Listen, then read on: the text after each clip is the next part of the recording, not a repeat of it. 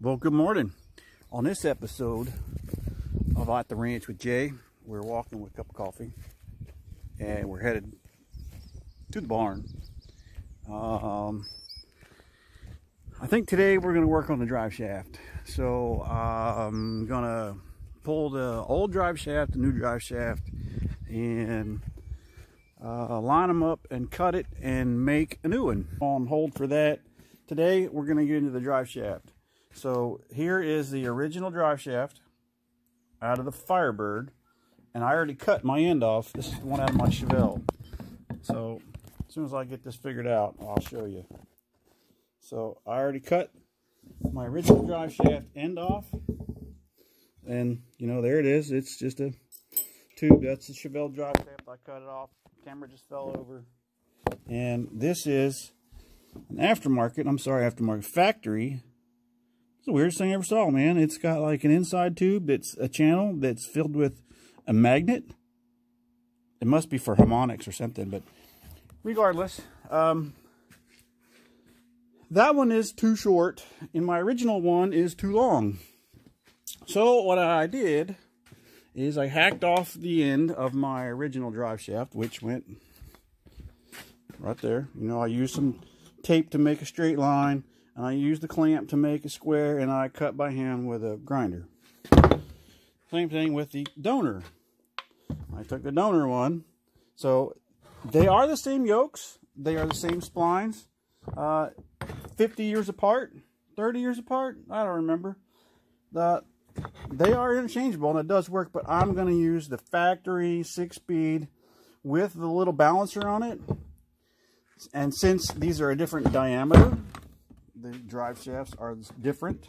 This one will actually fit inside that one, which makes shortening it a lot easier. So what I did was I cut the end off, that end. We're done with that. And I'm going to go with this end. Except I have to shorten it by about six inches, maybe eight.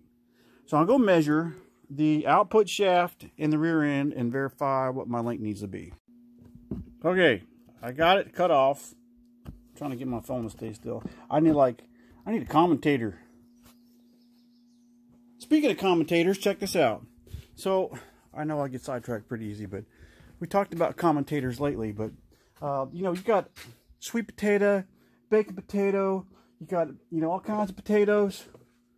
Right there, there's a commentator. Commentator.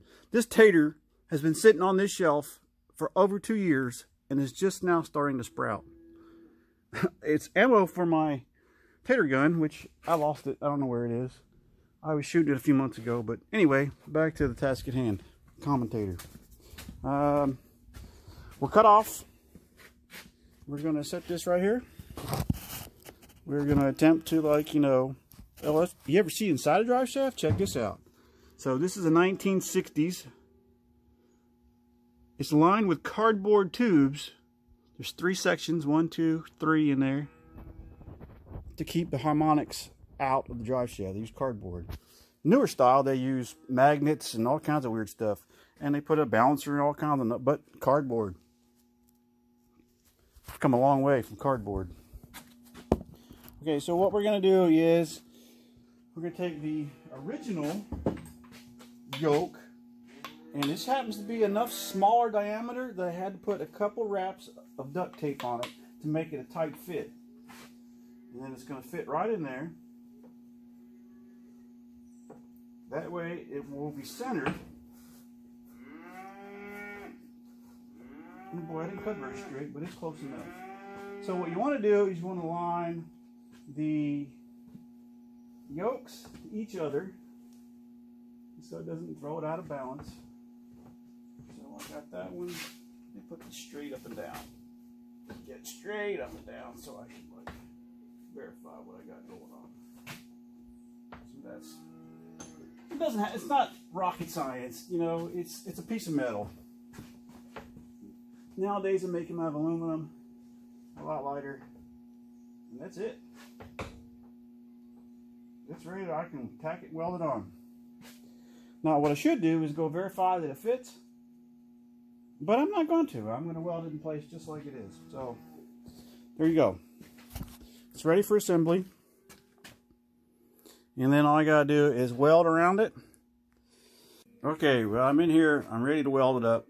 I had to ensure that I had the uh, correct flange alignment.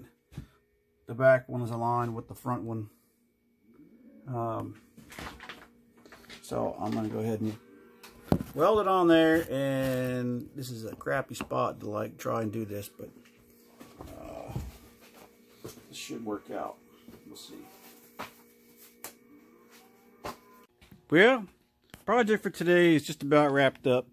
Uh, I've got it welded on, uh, pretty well burnished out. It needs to be balanced yet, but uh, it will drive the car and get me to what I need to get to next. Today's project is just about finished. So I'm going to go ahead and temporarily install it and see what happens. And move on to ordering some more parts. Tomorrow's episode brought to you by Chuck's Classic Cycles of Tuskahoma will be tanning beaver hide with hide tanning formula.